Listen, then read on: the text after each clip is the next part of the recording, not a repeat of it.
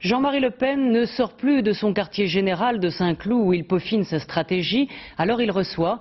Hier, il a rencontré les jeunes du Front National à qui il a lancé un appel au calme pour le défilé du 1er mai. En France, un jeune sur cinq a voté pour le candidat de l'extrême droite. Reportage Fabrice Turpin, Christelle Jorion. Ici, il est chez lui, au siège du Front National à Saint-Cloud, surnommé le paquebot. En sécurité, entouré de son garde du corps attitré d'une demi-douzaine de super flics mis à sa disposition par le ministère de l'Intérieur entre les deux tours.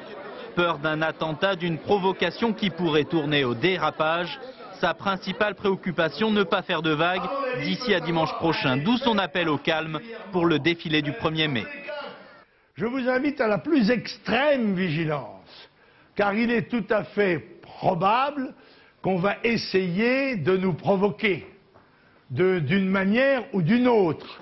Un appel aux jeunes parce que, surprise, dimanche dernier, 20% des 18-25 ans ont voté pour le leader d'extrême droite. Hier soir, Jean-Marie Le Pen a rencontré les jeunes frontistes et voilà pourquoi ils choisissent Le Pen. Bon, c'est pas compliqué hein, avec Jean-Marie Le Pen et Maigret au niveau de l'extrême droite. Euh, pour moi, au niveau de la droite classique, on va dire, puisque les autres partis de droite ne sont pas de la droite pour moi.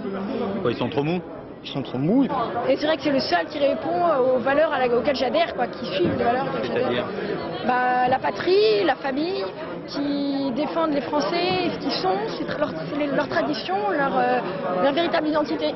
Non, euh, ça n'est pas la France aux Français, ça serait plutôt en matière d'immigration, aimez-la ou quittez-la. C'est-à-dire qu'on euh, veut bien accueillir beaucoup d'étrangers, ils sont les bienvenus chez nous, mais du moment qu'ils s'assimilent à la communauté nationale, du moment qu'ils aiment notre pays et du moment qu'ils se sentent français à part entière.